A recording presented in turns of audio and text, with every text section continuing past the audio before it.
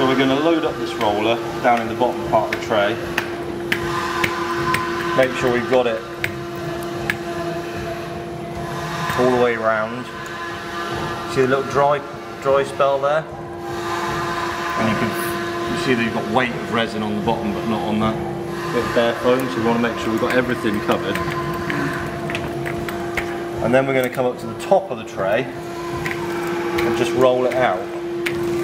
So we've got an even amount of resin all the way around the roller and not too much on there. You don't want to be piling loads on.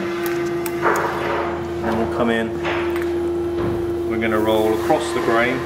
Now with this we don't want to be coating any of these recesses and you can see we can actually just go very neatly over that edge from the previous bit.